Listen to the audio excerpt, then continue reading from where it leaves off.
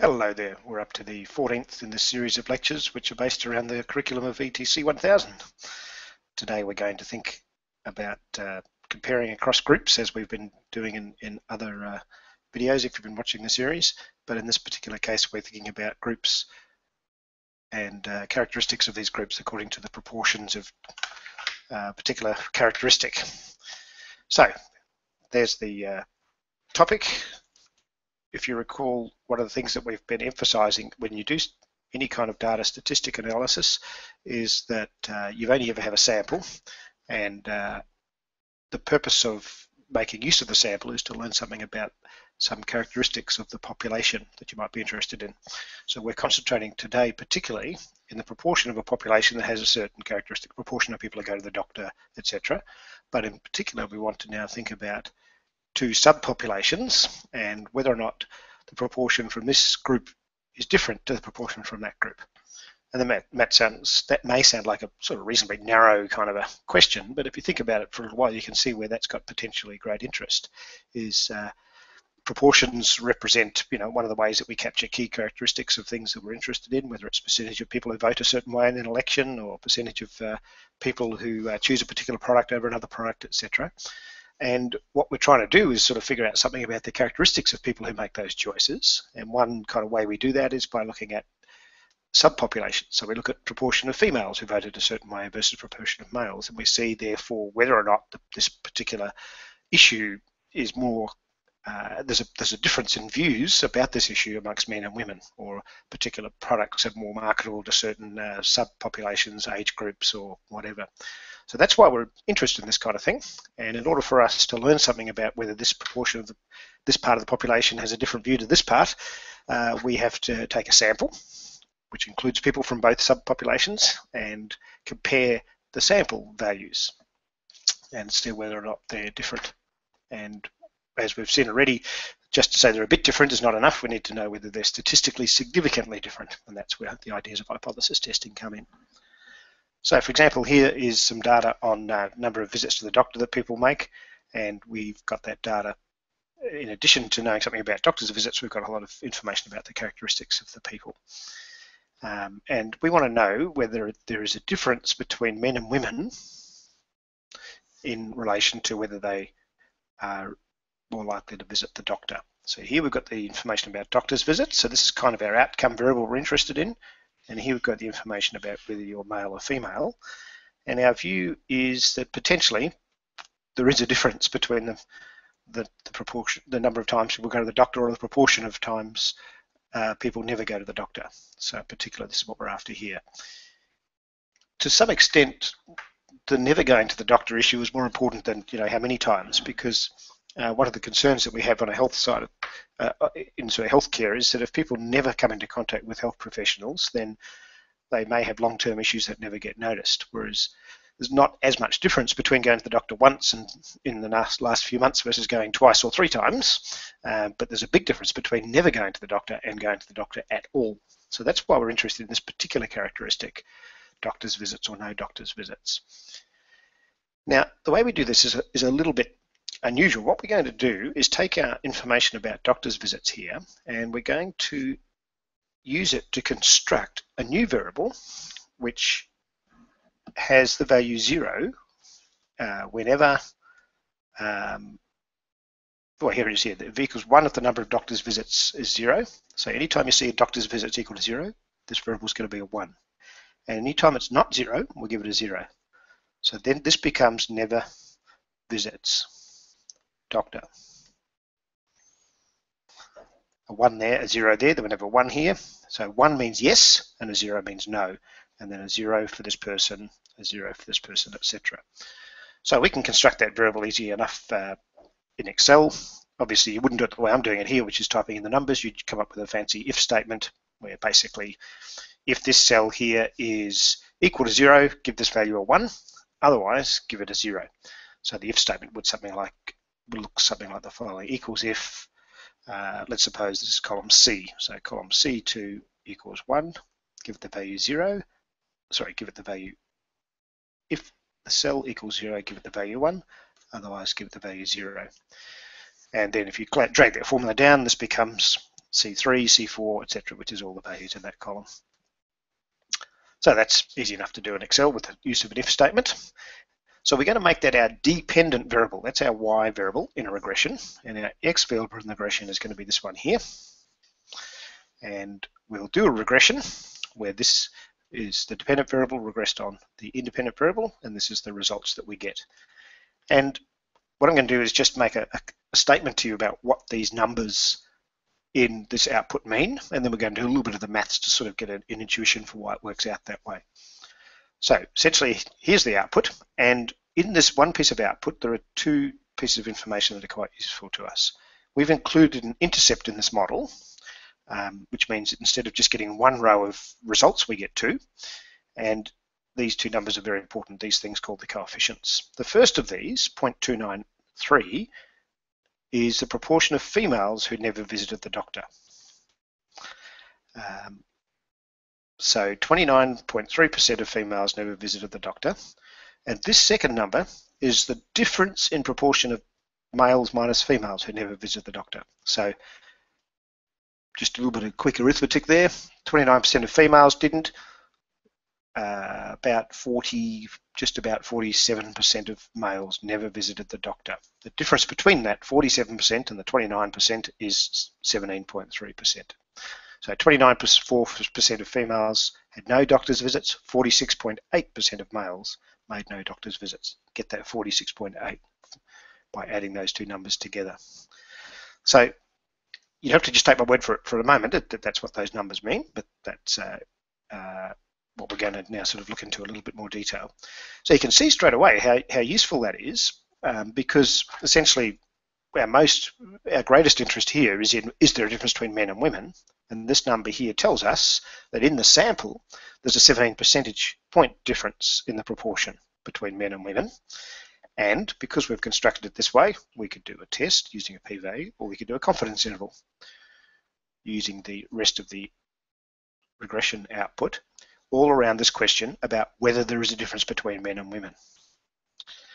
So in terms of confidence intervals, we're 95% sure that the difference between men and women in terms of proportion of times they never go to the doctor is between 12 and 22.8%. There you go, 12%, 22.8% when you round it off. So we're pretty sure it's not zero. We're pretty sure it's very big positive. In other words, men never go to, had no visit, doctor's visits far more often than women. That's, that's what that tells us, somewhere between 12 and 23%. The hypothesis test, this number here is 2.88 times 10 to the minus 10, which is this thing here, if you've got 10 zeros in there, so thereabouts. Um, so that's a very small p-value, and therefore you would reject the null hypothesis. Remembering what we have learned about p-values, if you're not familiar with p-values, you look at my previous uh, video on that, but p-values are essentially telling us something about how likely it is that a value like this would have occurred by chance. And the answer is extremely unlikely. Um, this is not uh, a, a, a, fluke outcome to get a 17% difference in my sample. This is evidence of a clear systematic difference between men and women in terms of how often they go to the doctor, or sorry, whether they go to the doctor at all. So we come to the conclusion very clearly that there is this hypothesis here, which is that there's no difference between men and women, should be rejected. And there's clearly a difference between men and women, and we can even say, based on the sample, that men uh, much more likely to not make doctor's visits at all. Okay, so that's all fine. That's the interpretation, but now I need to perhaps give you a little bit more evidence for why these coefficients tell us this information. I've just sort of told you to, to trust me on that. So to do that, we just need to go back to a little bit of uh, stuff that you might have learned about linear equations in the past. And most people, when they learn linear equations, they, they end up with sort of a formula like something like this, where uh, y equals mx plus c. Uh, so a linear, a line through you know an xy graph essentially is characterized by its intercept down here, uh, which is the value of y when x equals zero. So in this case, you've actually got a negative value for c, and its slope m. And the slope m tells you what happens to y, how much does y increase by if x increases by one. So this distance here is, is one, and how much does y go up by when x goes up by one? And that's what m is. That's the rise and the run is the language that you may have come across before. In the models that we build in econometrics, we use this language here. Y is a function of an intercept, so that's like your C, and a slope, that's like your M, and this is an error term, which captures really all the uh, values of Y, all, all the inf information that's there, all, all of the uh, variation of each Y value from the actual line. So the true data is somewhere on dots, like somewhere like this, scattered around the line. Sometimes Y is a bit bigger than the line, sometimes it's a bit less. And the error is that difference. You might think about that a bit more at another time. Okay, so what the model does with these dots being the actual data, what a straight line does with this actual data is essentially puts a line through the middle of that data. It's kind of a generalization of just calculating a mean. If I've got a set of numbers, I just want to calculate the mean. It's kind of like saying, here's the middle of the data.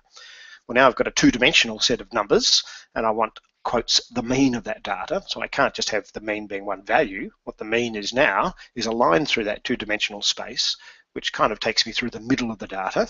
And more precisely than just saying the language of middle, we say the language of mean.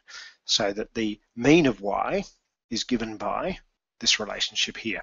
So if I knew the intercept and the slope in this equation, then it would have that relationship there between the mean of y and the mean of x. Now, just go back to the model that we fitted here. Both y and x had a slightly unusual characteristic. Both of them were, only took one of two values, zeros and ones. Here's x, zeros and ones, and here's y, zeros and ones. So the mean of y and the mean of x are, are not kind of like a number like 50 or 3 or something like that that you might normally expect. So y is 0 or 1 depending on whether you visit the doctor or not. x is 1 for males and 0 for females. So when let's let's take the case when x equals 0. In that case, the model, if x was 0, this part drops out. So I just get y equals b naught, beta naught plus e because I'm multiplying this by 0, so it drops out. So when x equals 0, that's the true model. And the expected value of y just equals beta naught because there is no x in the equation anymore.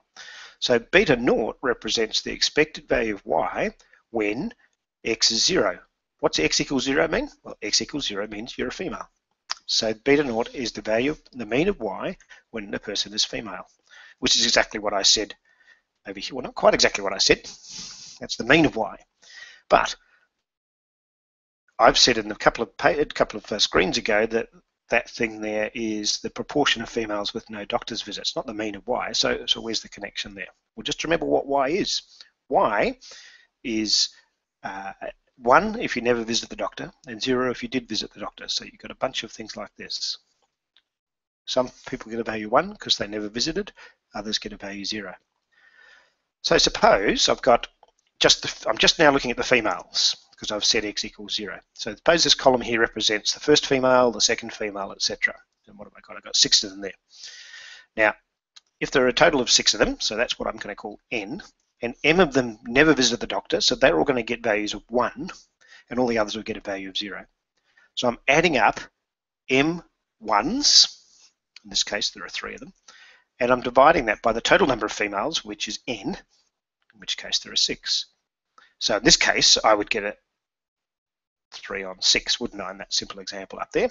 In general, though, I get m on n. That is the proportion of females who never visit the doctor.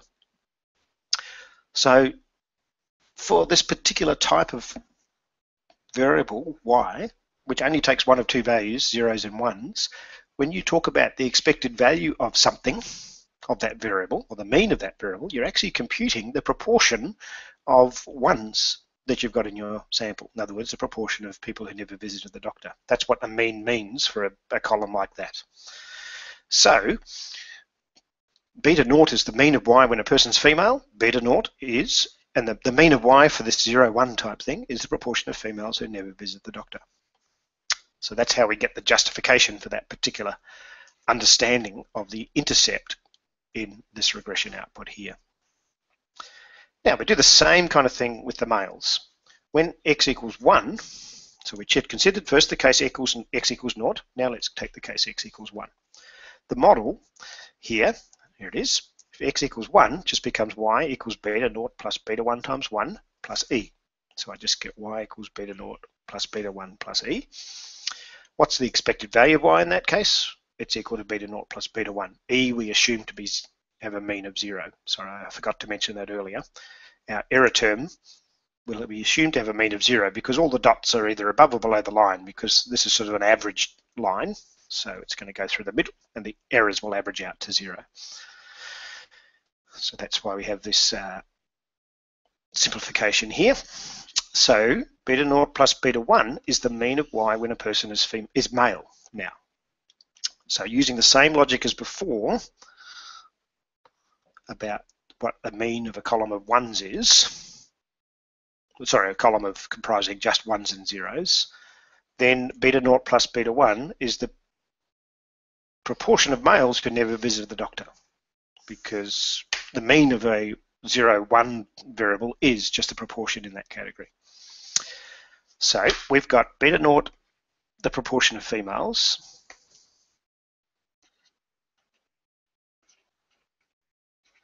and we've got beta naught plus beta 1, the proportion of males. So what's beta 1? It's this one minus this one. So it's equal to the difference between the proportion of males who never visit the doctor and the proportion of females who never visit the doctor. And that's precisely the interpretation that we gave when we looked at this output here. That's the difference between men and women. That's the value for the women. If I add those two numbers together, I get the proportion for males, which is beta naught plus beta 1.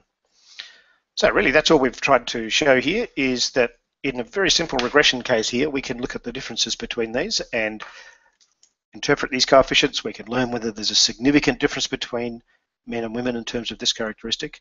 But what we've tried to do is provide some justification for why these numbers have that interpretation. Hope that makes sense and uh, just uh, hope you can see the possibilities for how you can tease out differences between different subpopulations using this kind of analysis. Thanks. We shall uh, take you back to here and leave you be for now. Thank you very much. Bye.